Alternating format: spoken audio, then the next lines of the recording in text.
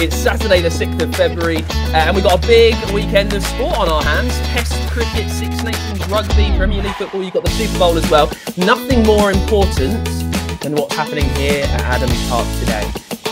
Wycombe take on Nottingham Forest.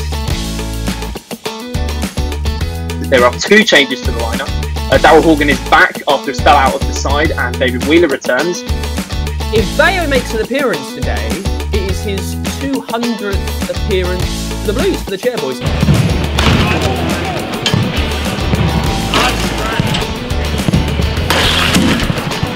Keep all your fingers and toes crossed uh, for three big points today at Adams Park.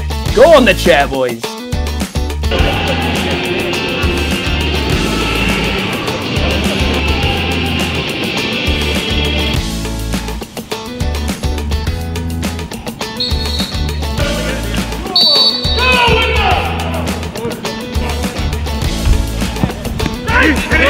아,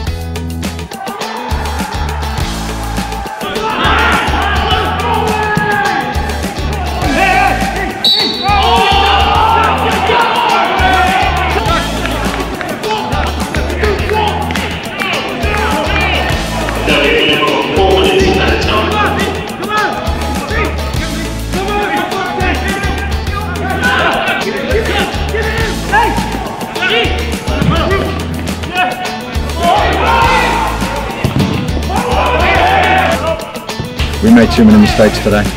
They didn't make enough for us to capitalise on, and, and that's the story again. You know, we we had a plan. We wanted to play a certain way. We wanted to force Nottingham Forest to play a certain way. We've got some big, big games now. The schedule is going to be tough, but we're well up for the fight, and I can't wait to go to Sheffield on Tuesday.